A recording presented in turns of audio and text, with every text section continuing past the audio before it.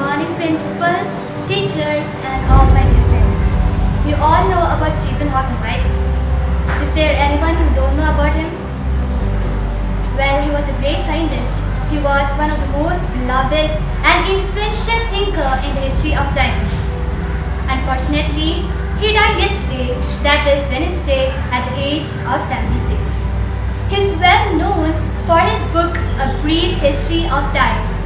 He brought wonders and wits throughout the world through his inspiring, thought-provoking and hilarious quotes.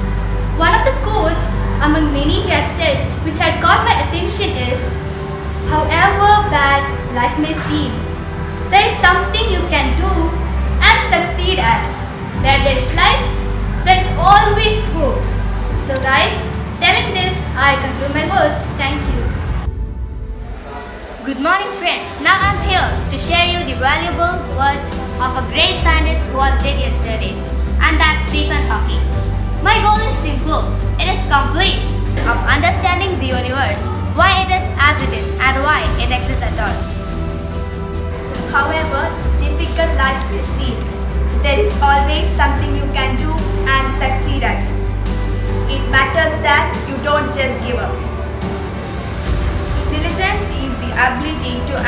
to change.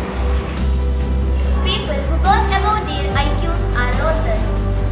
Quiet people are the loudest minds.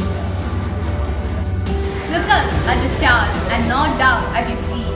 Try to make sense of what you see and wonder what makes the universe exist. The greatest enemy of knowledge is not ignorance, it is the illusion of knowledge.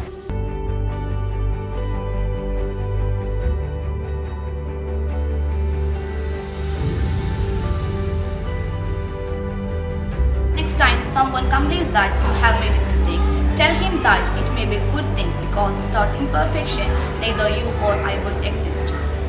The real genius Stephen Hawking is number. One of the basic rules in the universe is that nothing is perfect.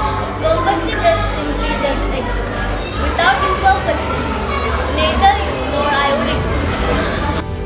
We are in danger of ourselves by our greed and stupidity. We cannot remain looking inwards at ourselves on a small and increasingly polluted and overcrowded planet. With the deepest sorrow, I salute one of the most evergreen scientists, Stephen Hawking, who passed away today at the age of 76. Stephen Hawking was a professor of mathematics at the University of Cambridge and a well-known author of the book A Brief History of Time, which got into the international bestseller. At the age of 21, he was contrasted with ALS, which is a form of motor neuron disease, where the doctor gave him only two years for the survival. But his strong desire to be a well-known scientist crossed two years to 55 years.